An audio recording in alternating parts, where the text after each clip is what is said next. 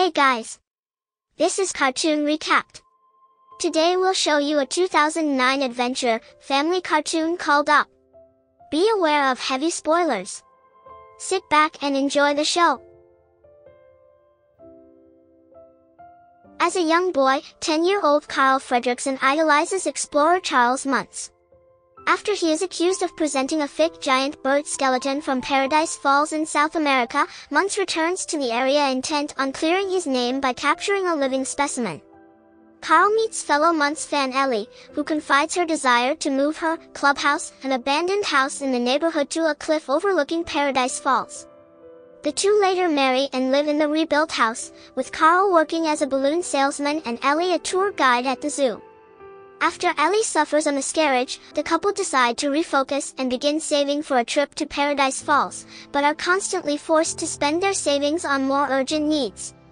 Years pass and Carl decides to arrange the trip as a surprise for Ellie. On the day that Carl plans to tell Ellie, she falls ill and is hospitalized, dying soon after. Some time later, a now retired Carl stubbornly holds out in the house while the neighborhood around him is replaced by skyscrapers. After Carl accidentally injures a construction worker during a mishap, the court deems him a public menace, requiring his relocation to an assisted living facility. However, Carl resolves to keep Ellie's promise, turning his house into a makeshift airship using countless helium balloons and flying away. Russell, an eight-year-old wilderness explorer who visits Carl in an effort to earn his final merit badge for assisting the elderly, becomes an accidental stowaway.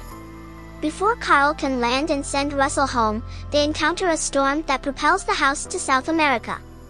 The house lands on a mesa opposite Paradise Falls.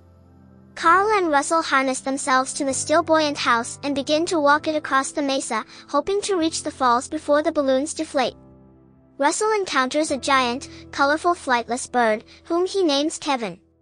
They then meet Doug, a golden retriever who wears a special collar with a device that translates his thoughts into English. He joins them on their trek. A pack of fierce dogs led by the Doberman Pinscher Alpha take Carl, Russell, Doug, and Kevin to their master, the now elderly Charles Muntz. He invites them aboard his dirigible and talks about his search for the bird. Carl realizes Muntz's obsession with finding the bird has driven him mad, to the point of killing innocent travelers whom he suspected of seeking the bird for themselves. When Russell notes the skeleton's resemblance to Kevin, Muntz sees them as thieves and becomes hostile.